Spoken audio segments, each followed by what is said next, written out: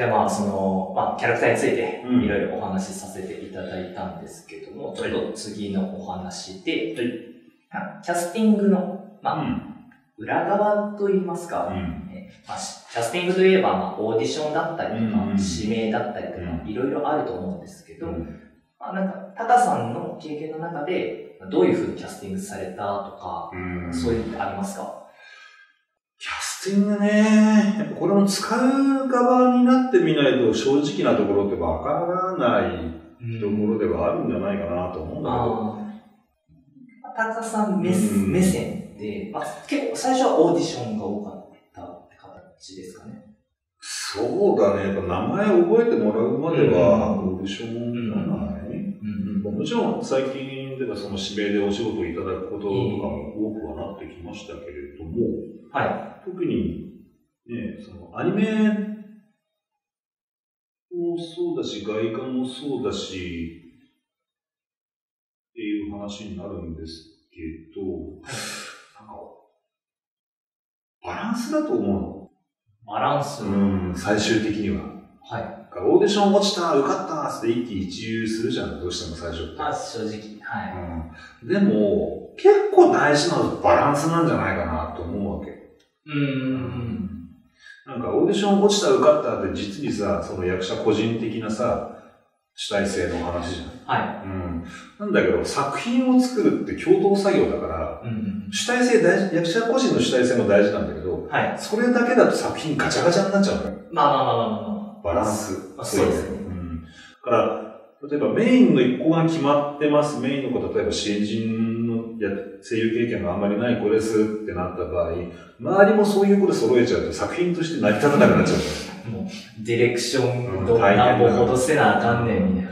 だからそういう場合って、メインに新人の子を据えたら、周りって割と中堅かベテランかで揃えたいと思うんだよね。うんうんうん。そこでバランスを取る。そうそう。はい。引き上げてあげるって言ったらあれだけど、あの、その子が悩んでたらアドバイスをしてあげられるような子を入れるだったりとか。はい。うん。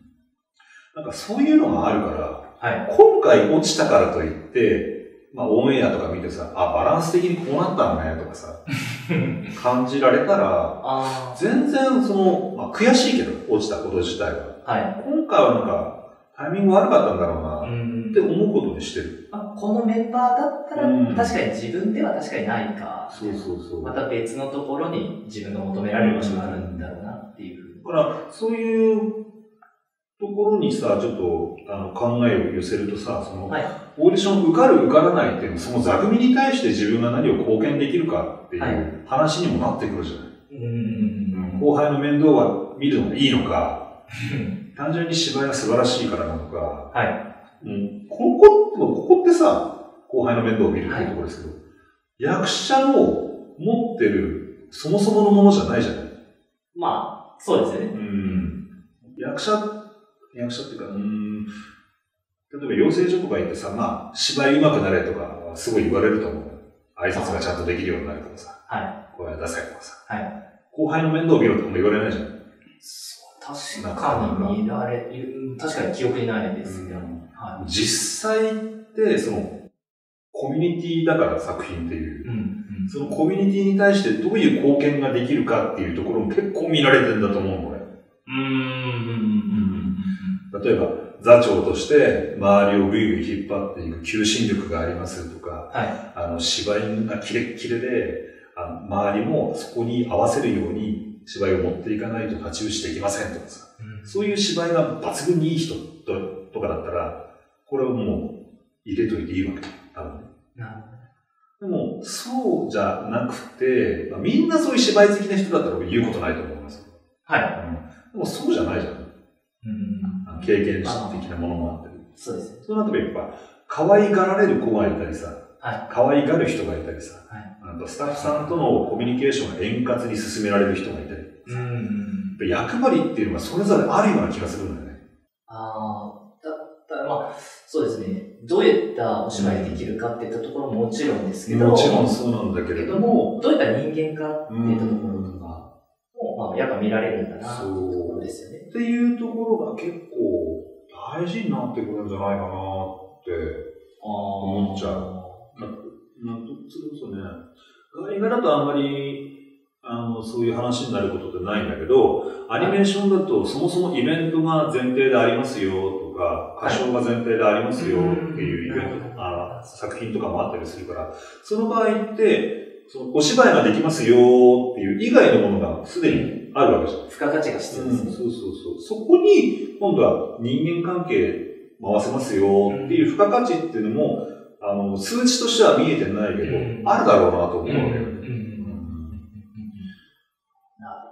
だから、役者として上手いだけじゃ役者としては使われないと思う。うん。うん。まあ、何かしらのその人間力って言ったら。そうそうそう。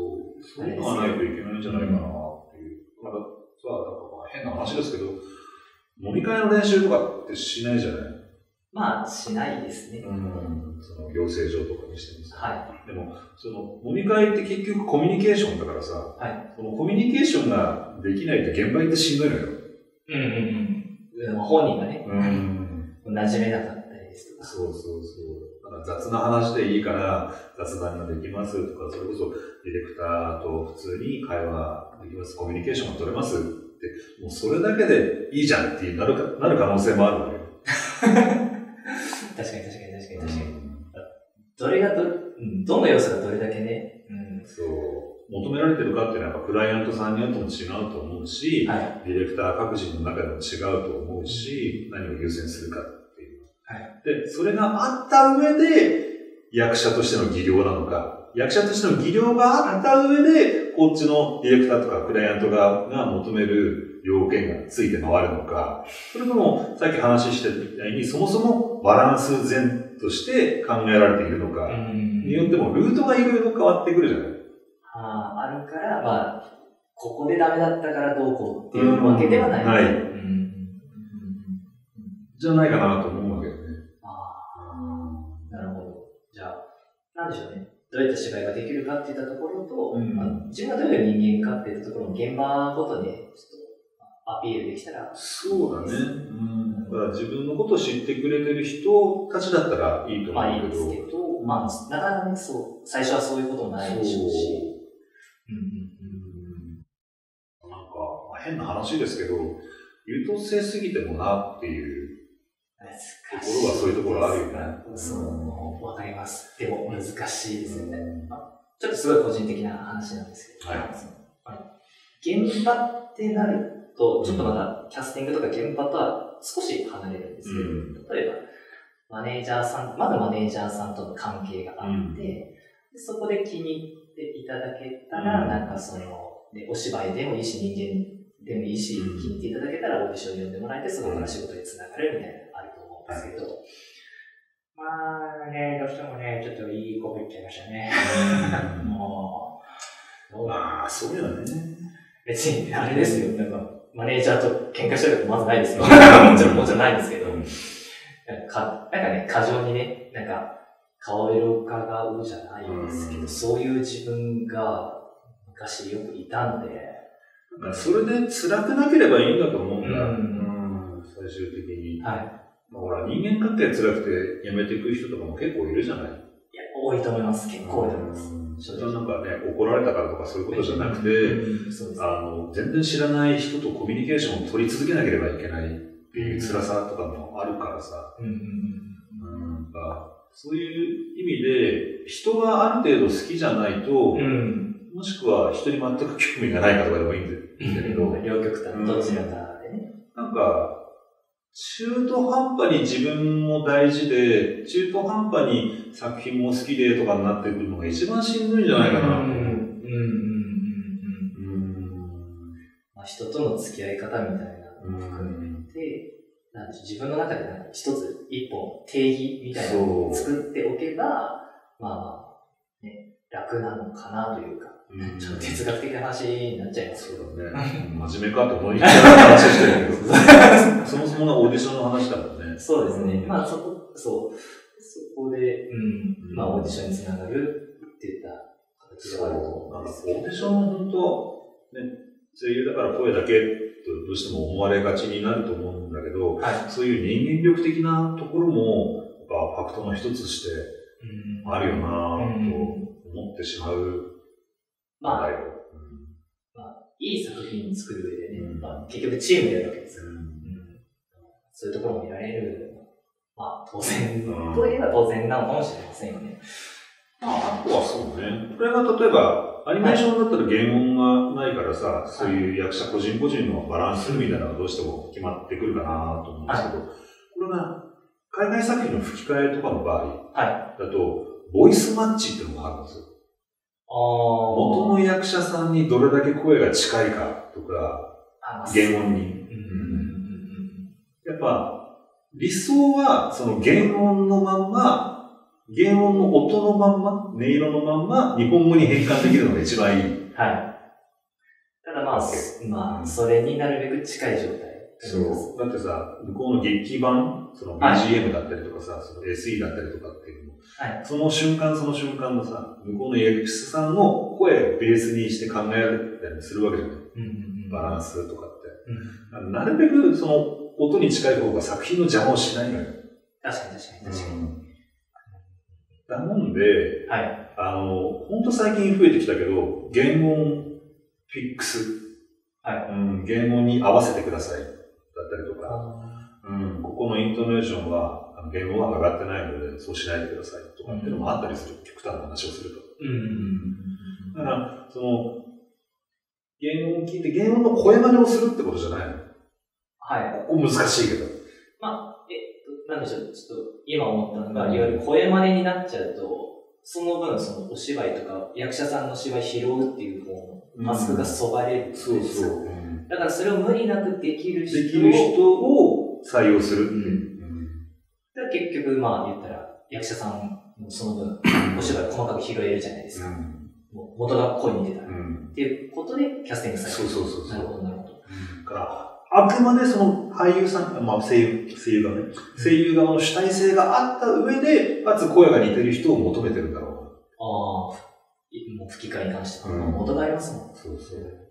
元の役者さんがいて、役者、うん、芝居だったら、あそこは、ねそそれこそ出会いみたいなところがあるからさ、うんそれこそ、ほら、スさっきのスーパーマンのこのヘンリー・カビルとかだと、は体格が割と似てると。い。カビルも87、8ぐらいあるんじゃないかな。結構大きめなはい。人なんだけど、これ191じゃん。うん体格的に、まあ、似てますよと。いや、外人さんに合わせられる体格っていうのはすごく貴重なんじゃないかなって思いますよね。うんとするとさ、どうしても声も発声方法も似てきたりとかっていうのがあるわけじゃん。はいうんそういうところでも、やっぱり一個強みとして、うん出てくるところがあるんじゃないかな。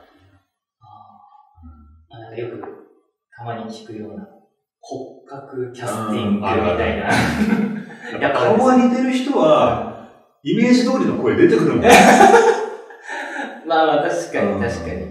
滑腹だけでもね、一つでも似てきたどの骨にどういう肉のつき方してるのか。によっても、声の響き、多少変わってくるんじゃないかなとは思うもんね。キャスティングだけでも。でもそれって正直自分でどうこうできるもんじゃでもなないい。ところが大きいじゃないですか、さっうんき今のその吹き替えの話でいくと。じゃあやっぱりなんか各所に自分を知ってもらうっていうアプローチをしていかないといけないってことですよね。難しいぜ。またまあ、その分、まあ、まず自分がどういう骨格かとかは分かってなきゃいけない。いけないといけない。し、あ吹き替え見てても、あ、ちょっと、この役者さん、うん自分と声質似てるかも。うん。うん。そういう研究が必要になってくるかもしれないですね。うんありがとうございます。はい。